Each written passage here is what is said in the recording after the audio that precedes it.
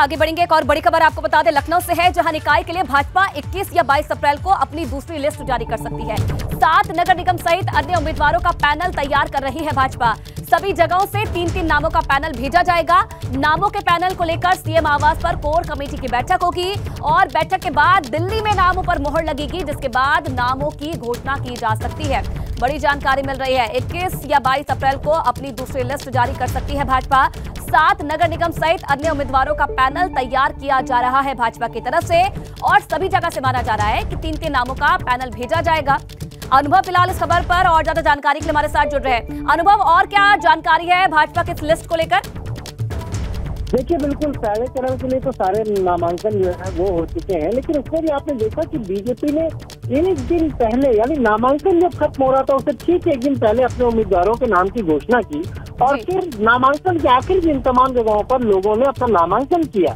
पर इस बार तैयारी ये है कि जो दूसरे चरण में सात नगर निगम है इसके अलावा जो पंचानवे नगर पालिका है और दो सौ अड़सठ नगर पंचायतें हैं वहाँ पर उम्मीदवारों के जो नामों का पैनल है, उसे बनाने का काम अब पार्टी ने शुरू कर दिया है। यानी जो पदाधिकारी हैं, जो प्रभारी हैं, वो अब एक या दो दिन के भीतर तीन तीन नामों का जो पैनल है, वो उसे बनाकर भेजेंगे और यहाँ मुख्यालय पर भेजेंगे। उसके बाद एक कोर कमेटी की बैठक होगी मुख्यमंत्री आवास पर, जिसमें मुख्यमंत्री रहेंगे, दोनों डिप्टी सीएम रहेंगे प्रदेश अध्यक्ष भूपेन्द्र चौधरी और महामंत्री सिकंदर धर्मपाल सिंह मौजूद रहेंगे।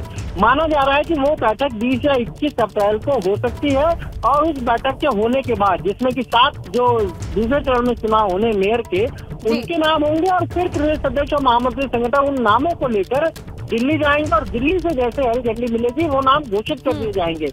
लेकिन इस बार बीजेपी उतनी देर नहीं करेगी जितनी पहले चरण में हुई थी। अब की चौबीस तारीख नामांकन की आखिरी डेट है तो उससे कम से कम दो दिन पहले ये नाम घोषित किए जा सकते हैं।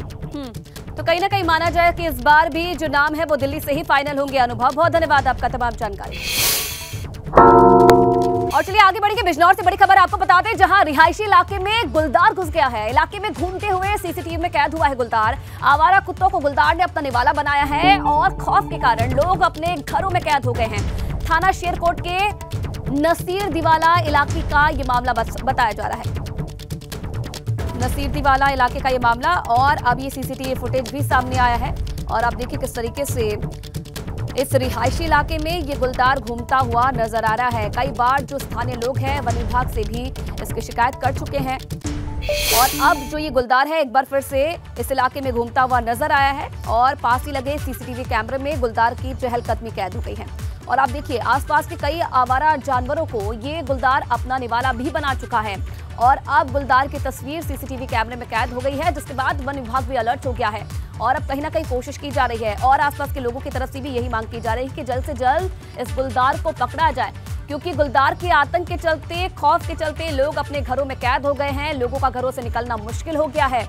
और रिहायशी इलाके की तस्वीरें बताई जा रही है। बिजनौर इलाका, इससे पहले भी कई बार जो गुलदार है, इन इलाकों में देखा गया है और एक बार फिर से ये गुलदार देखने को मिला है और सीसीटीवी कैमरे में कैद हो गया है।